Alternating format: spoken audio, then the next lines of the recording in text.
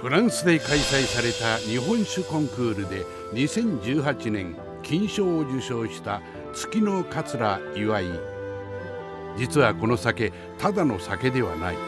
今からおよそ50年前に姿を消した幻の米を使う日本酒だった。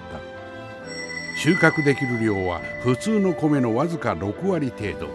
京都でのみ生産される希少な酒米の酒。その美味しさの秘密とは？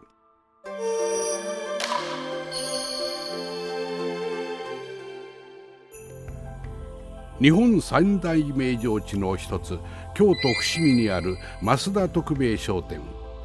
伏見最古の蔵の一つとして314年伝統を守ってきた。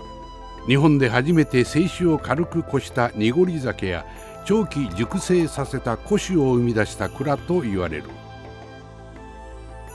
この蔵を代表する酒の一つ月の桂祝い。最大の特徴は幻の米とも言われる酒米を使うこと。一体なぜ幻なのか。祝い米はもともと昭和8年に出来上がるんですけども昭和49年にはなくなってしまうんですよ。実はこの米およそ50年前まで京都で栽培されていたが一時作り手が途絶え姿を消した米だった。祝い米が途絶えた理由それは栽培の難しさにある。その当時の第一期の祝いは160センチぐらいあったんででコンバインの大体いけるのは150ぐらいまでなんですよ。草丈が高く機械化に適さないさらに穂につくもみの量が少なく生産量も少ない。そのため作り手がいなくなり一時姿を消した。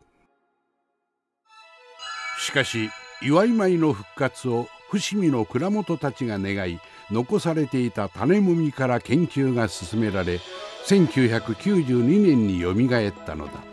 しかしなぜ栽培が難しい祝い米を使い酒を作るのか。実は祝い米は他の酒米と比べて日本酒を仕込む上で重要な心拍が大きく良質なでんぷんが多い。